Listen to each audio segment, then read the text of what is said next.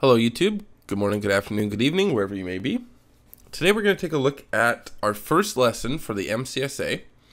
Now, the MCSA is going to be broken up into three exams. There's going to be the MCSA, MCSA 7410, the 7411, and the 7412. Now, you can also substitute any one of those for additional exams, which I'll cover in a later lesson. For instance, I didn't take the 7412 for my MCSA. I took the 74 70 uh 74-409. But you so there's there's other options you can take as well. But for the most part, most people are going to be taking the 410, the 411 and the 412. I took the 410, the 411 and uh 74 409. So this is installing and configuring servers 1.1. So this is pretty much straight out of um, ExamRef. This whole lesson will be based off of the Microsoft Press uh, ExamRef books. So to the T, I am going to do these videos. One video, 1.2 is going to be another 1.3, etc. So today we're going to take a look at installing and configuring servers. Now, you might be asked why we need to know some of this stuff to do with licensing. Well, it's huge. If you're going to become a system administrator, you know, MCSA used to stand for Microsoft Certified System Administrator, and now it's Solution Associate. So when we think about that, we're planning to be a, a, system administrators because it's the same thing. It's just, you know, unless you're taking Office 365 or you're taking some other type of MCSA like Windows 7 or 8, for the most part, MCSA is going to land you if you take a server one in a, in a system administrative role or a network administrative role. So you need to know about licensing. You can't go and say you're going to bill, you're a system administrator, and you tell your company you're going to get this and that, and then you realize that your licensing doesn't allow you to do that. So the first thing you need to understand is Windows Server versions. So there's Foundation, Essentials, Standard, and Data Center. Now there's others um, um, that actually no, there's not. They actually all are in here. Pardon me.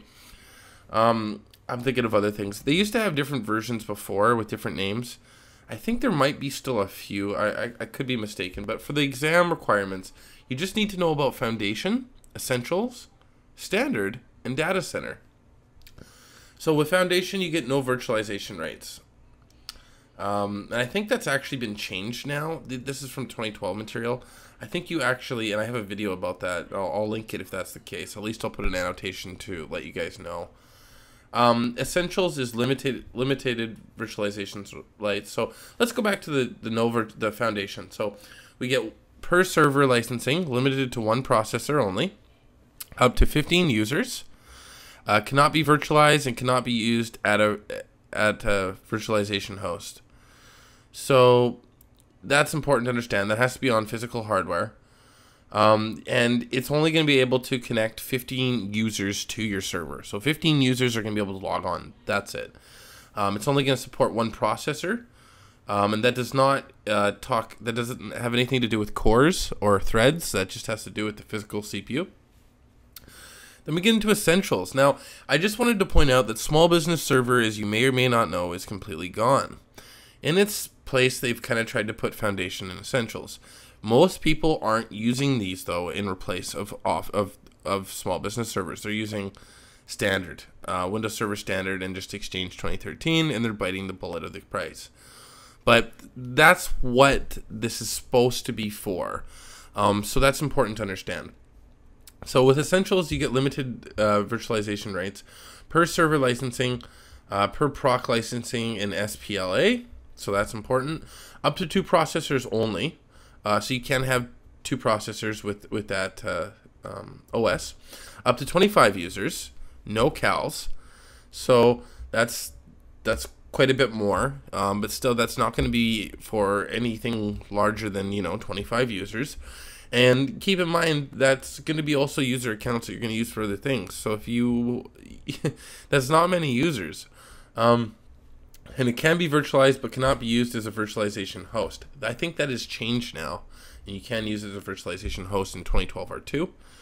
Um, so standard workload optimized. Um, so this is more for Um, and I for, kind of forgot to mention. So Foundation was kind of for an entry level or cost effective OEM only.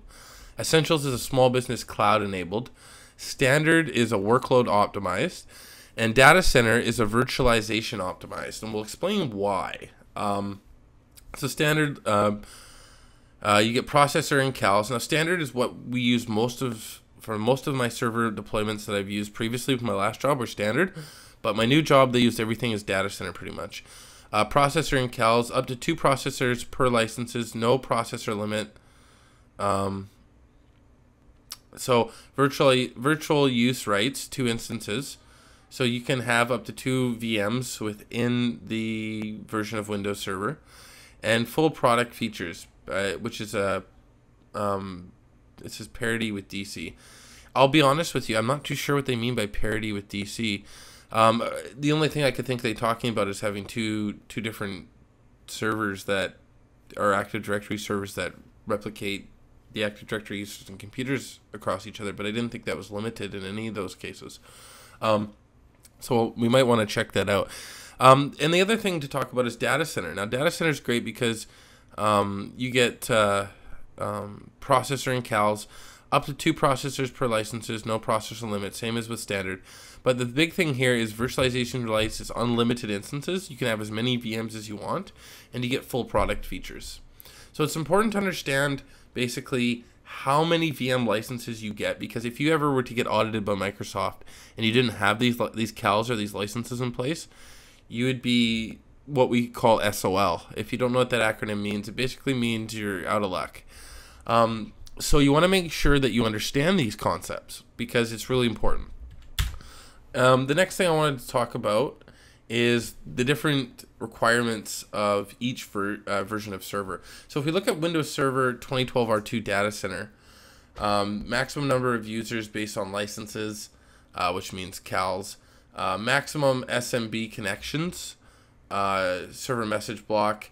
Um, that's how many connections they've tested it with. You might be able to get more or less through, but that's how many they've tested it with for, for data center maximum RAS connections. Now, what RAS is is routing and remote access. That basically just means VPN connections. Maximum I IaaS connections is that looks like two billion.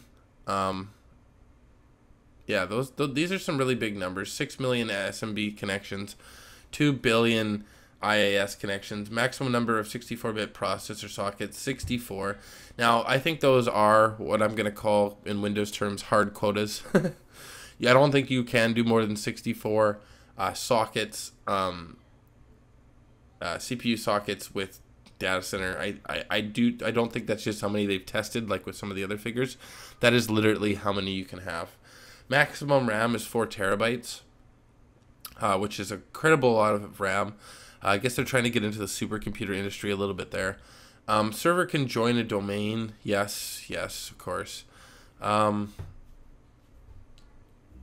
so the other thing to talk about is Windows Server 2012 R2 standard. Um, pretty much the same specs all the way down to, well, it's exactly the same specs. Um, and then we get into Windows Server 2012 R2 Essentials.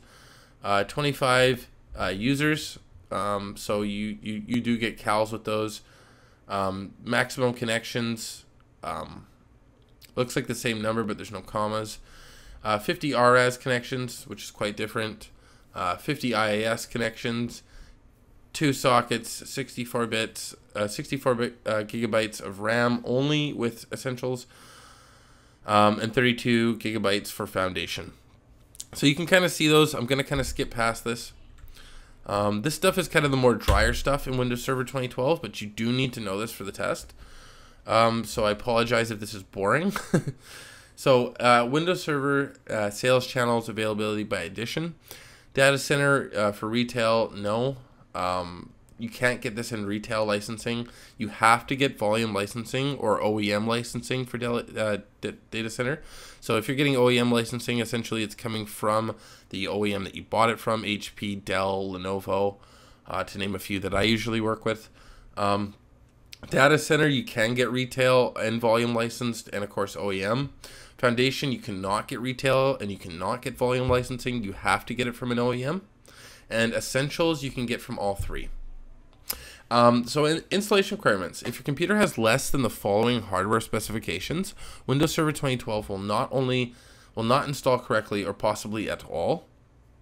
So this stuff you can't you might be able to get away from away with because when they recommend 1.4 gigahertz, you know, if you're talking about a you know, if you're talking about a single core Pentium or something like that, versus you know an i7 at 1.4 gigahertz and virtual machines. We're going to have a little bit different performance. Of course the hypervisor being one that's uh, that's type um, i believe it's type 1 which would allow you to have better hardware speed versus type 2 is something like virtualbox. Um, you know you're going to be able to get pretty close to hardware performance. So having an i7 versus a single core um, 1.4 gigahertz CPU is going to totally be different. So that's why they say possibly at all. Uh, 1.4 gigahertz 64-bit processor, 512 megabytes of RAM, 32 gigabytes available disk space on the hard drive that you're going to be installing Windows on.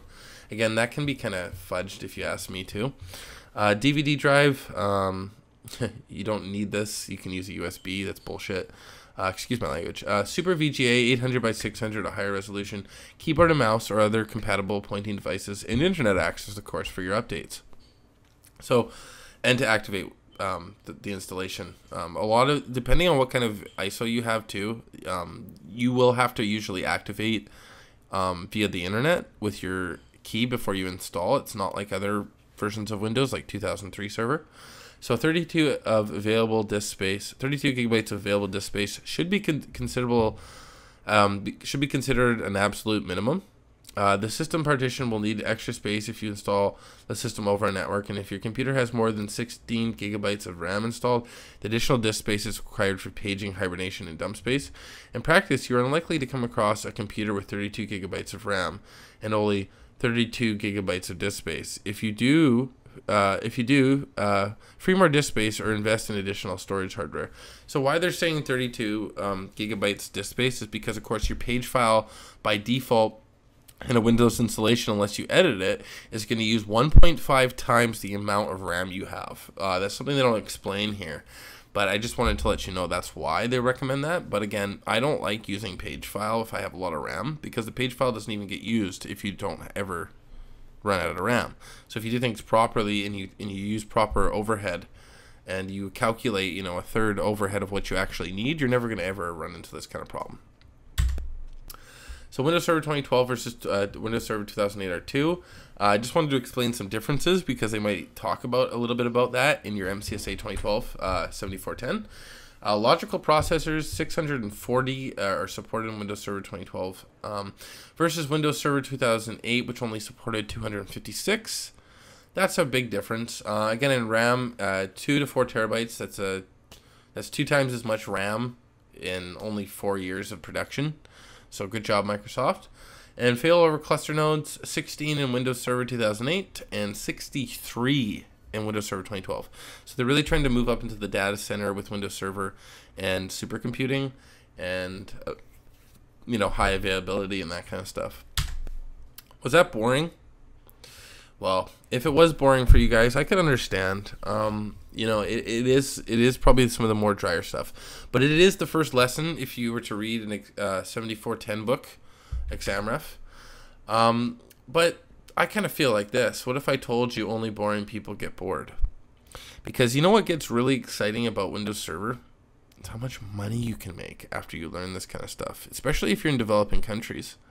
And you know, part of what I like to do is the free training. So I really like to help people in developing countries because they're just people like me who are just in different circumstances, and I know what that's like. So, um, but again, it it is very valuable. But that's pretty much all I wanted to show you with that. That's 1.1 installing servers. I hope you guys like this lesson. Please rate and subscribe, and thank you for watching.